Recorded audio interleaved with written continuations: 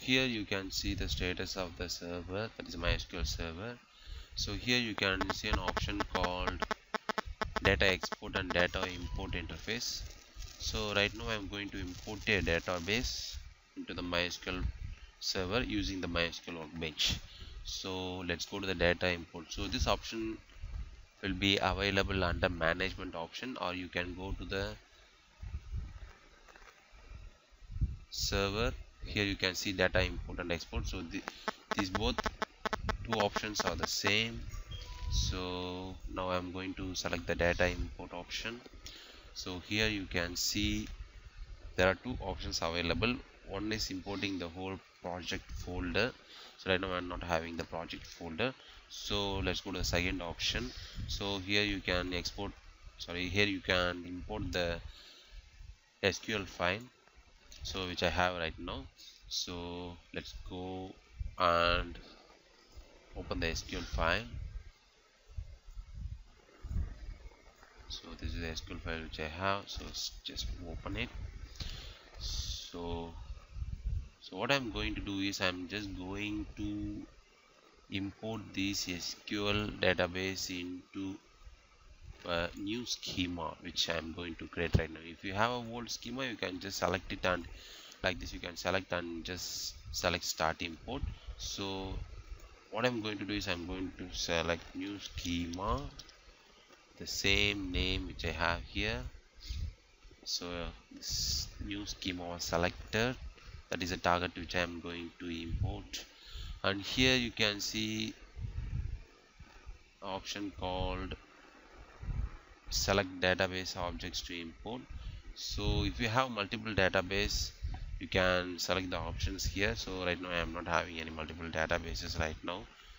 So I'm going to click start import. So it will start importing the whole database which is situated in this location. So let's start the importing process. So if you see here it was asking for the password of the MySQL server. So there's no password so leave it as blank and select OK. So it was running this command right now. So if you see, if you see here the import is running and there's no status displayed here. So if you want to stop the import process you can just select stop from here. So I don't want to stop the import process let it run let it run.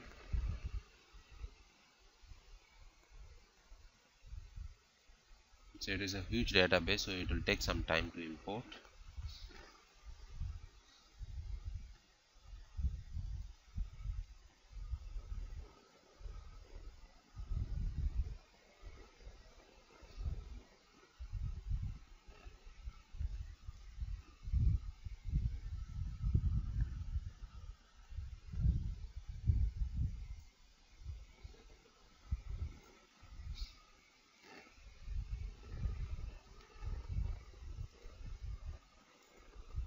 let's see the log here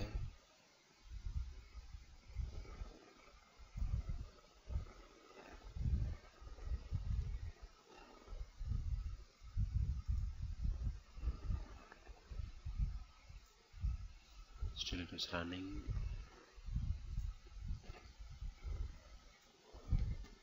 So you can see here all the databases are importing. So here you can see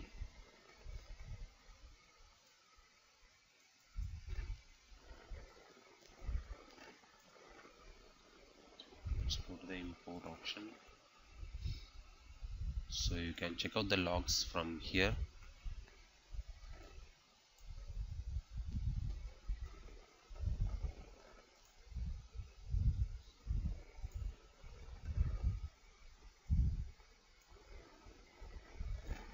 Just running running running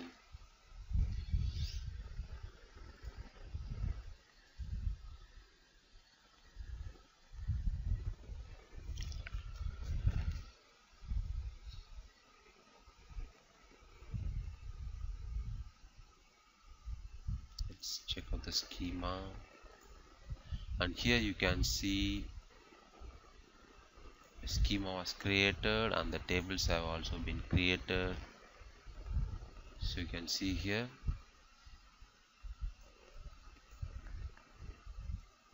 So let's open some of the table.